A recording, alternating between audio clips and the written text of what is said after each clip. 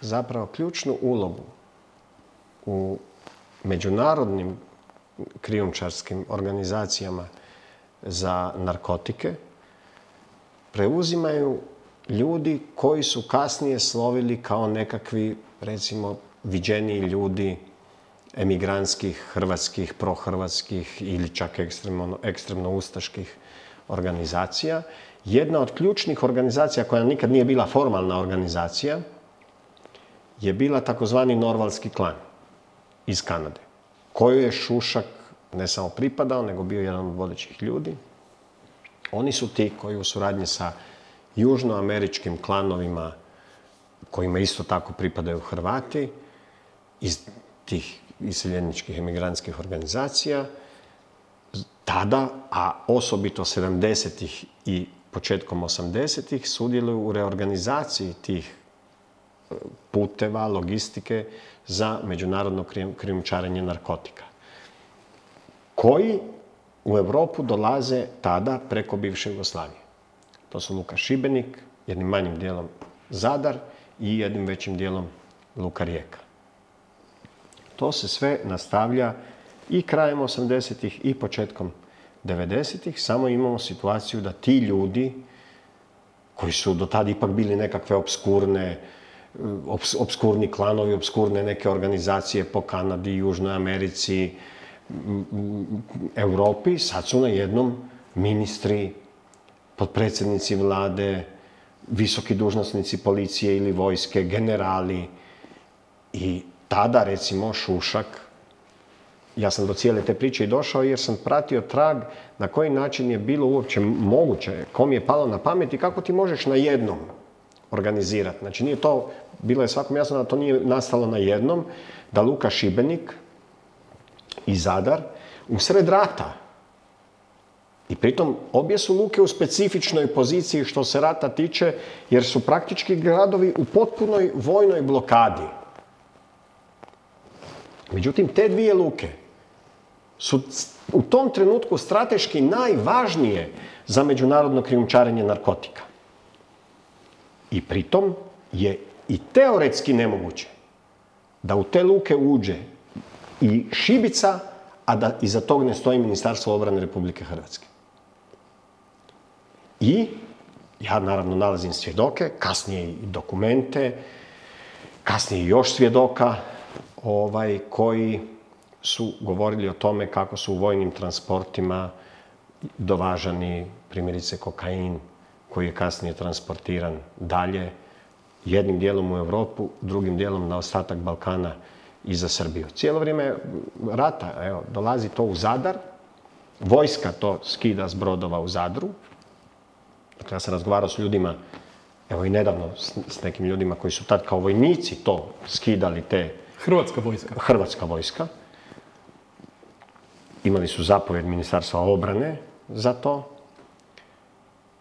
I nesmetano dio tih transporta kokaina odlazi na teritorij tadašnji okupiran, dakle Ukrajinu, u dogovoru s jednim čovjekom koji je bio igrač iz Sjene u samoj krajini, živi je danas, i kasnije iz krajine to odlazi za Srbiju ili dalje gdje je već odlazilo i dio.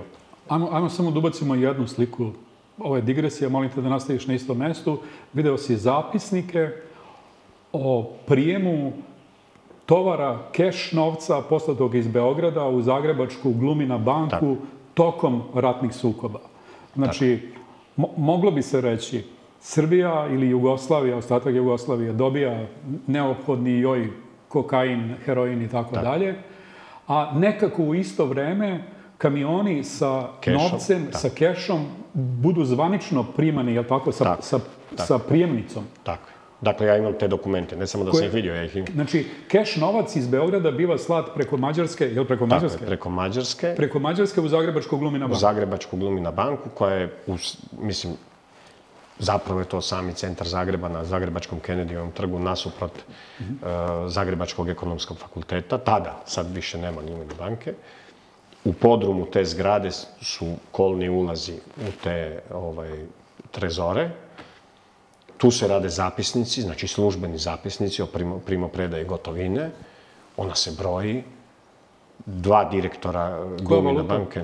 Tu je bilo, dakle, njemačke marke, e, dolari, uglavnom su bili i švicarski franci, nešto manje. Osim uobičajenih izvora, ti imaš još jedan iz Glumina banke, je li tako? Tvoja majka je bila jedan od, od, Tako je, ona je radila od službenika u toj tako, banci. Tako je. I sastavljaju se zapisnici, dakle, koja količina novca, ko, ih je, ko je donio, e, u čije ime se pohranjuju.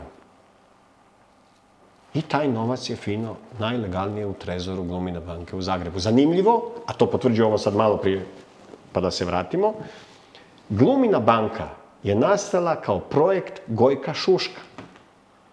Znači, Gojko Šušak, kao ministar iseljeništva, što malo ljudi se sjeća, dakle on je jedno vrlo kratko vrijeme prije nego što je došao za ministra obrane, bio ministar iseljeništva. Kao ministar iseljeništva potpisuje preporu, pisma preporuke za osnivanje Glumina banke. Kasnije, kad se ona formalno registrira, Šušak već kao ministar obrane lobira da značajniji e, pripadnici e, ustaške emigracije investiraju u Glumina banku i na taj način budu e, dioničari banke, iako je većinski paket cijelo vrijeme preko povjereničkih računa kontrolirala jedna grupa. Znači, opet tu imamo Gojka Šuška, koji je bio ključna figura koja je stajala iza Glumina banke. I druga priča, glavna, e, ino, dakle, tad je zakon o bankama u Hrvatskoj bio drugačiji. Tad su banke imale takozvano malo i veliko ovlaštenje. Malo ovlaštenje se odnosilo na standardne e, inoplatne, u- ne inoplatne, unutar e, zemlje platne e, prometne usluge. Veliko ovlaštenje je podrazumijevalo e, inostrane poslove. Znači, mogućnost e, inozemnog poslovanja i tako dalje. Glumina banka u prvom trenutku nije imala veliko ovlaštenje, naprosto nije mogla jer je Marčinko koji je bio predsjednik uprave nije zadovoljavao zakonske uvjete i tako dalje, da ti sad ne nabrajam. Oni mogu obavljati međunarodni platni promet, ali moraju za to imati e, korespondentsku banku. Koja je banka tad služila kao pokriće za te poslove Glumina banci? Dubrovačka banka i Neven Barać. U kome? U kome istovremeno Slobodan Milošević drži tajne račune, nominalno na račune kao na nazive srbijanskih državnih firmi, ali tu je zapravo ključna Da li bi se složio da je duga ruka pokojnog Šuška i Glumina banke, obzirom da ti ovih dana preti ovaj, zaplena porodične kuće u šestinama, ako sam dobro zapamtio. Pa evo da, oni su... A, a, evo, a evo, ti sada govoriš o, o, o Šušku, Glumina banci, ovaj, i ti imaš upravo problem sa njima zbog nečega što pravno ne postoji. Ne tražimo tebe da, da pričaš o tom slučaju, nego, nego samo, evo, samo zanimljivosti.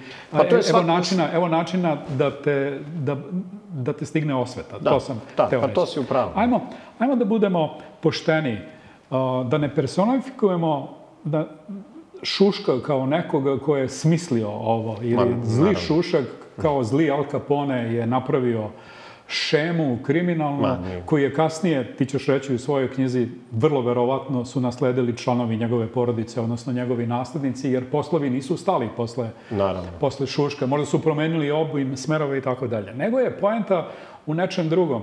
Šušak kao rezident, vrlo verovatno, jugoslovenske obaveštajne službe zapravo radi poslove koji su uobičajeni za onu državu kakva je postojala pre raspada Jugoslavije. To je gomila švercerskih poslova, to je gomila kriminalnih poslova, to su po svoj prilici tajni načini na koji se finansirala država ili su se možda finansirale njene tajne službe.